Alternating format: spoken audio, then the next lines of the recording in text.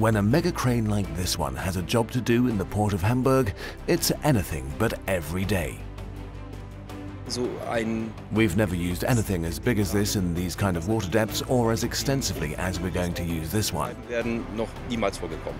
It's a pioneering premiere. The adjustment work to the shipping channel requires some major digging and the identification of unexploded ordnance plays a key role. Safety first.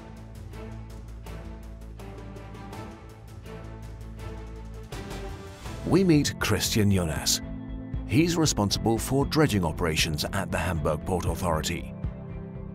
Even for this experienced engineer, the use of this giant crane and the associated multi-tool workpiece is not an everyday event. very heavy machines in the port of Hamburg. It's a project with a lot of challenges. Before the dredging can begin, the team has to make sure there is no unexploded ordnance. They use cutting-edge technology to scan the working area. Grundsätzlich kann man das sich so vorstellen, wie wenn man nach Gold schürft. It's a bit like panning for gold. You scan the area, hear an echo, then you start to search the area. And if you find something, then you have to try and identify it. Is it gold, in inverted commas, that is, things we have to recover, and we have to make sure that any object is removed from the area we'll be working in. aus dem Baugrund entfernt wurden. Sicherheit ist das A und O. Safety is paramount, as it is in all the work we do. And that's why we have to go to this extent to make sure that nobody is endangered. für Leib und Leben besteht. The next step, the mega crane. It's used in conjunction with a massive hydraulic dredger.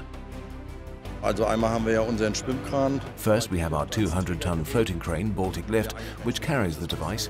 And the main device is the hydraulic dredger with what we call the multi-tool, with which we can re-identify objects. indem wir Objekte reidentifizieren. The multi-tool is the high-tech heart of the device to search for, identify and remove objects from beneath the water.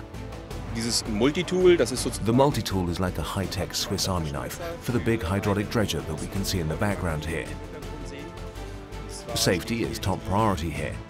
We don't want to endanger the lives of divers, for example, so we're recovering all objects remotely.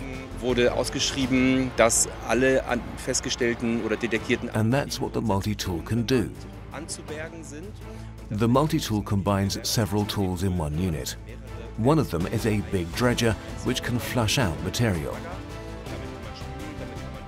Another is a grip with which we can grab hold of objects. And if that object is not some old ordnance, but something like a steel girder, then the multi-tool can remove the objects. Diese Objekte von dem Multitool geborgen werden. The multi-tool was developed specifically for the work to adjust the shipping channel. It's the first time the Hamburg Port Authority has used the technology in the port. A pioneering premiere indeed. Port is what we do.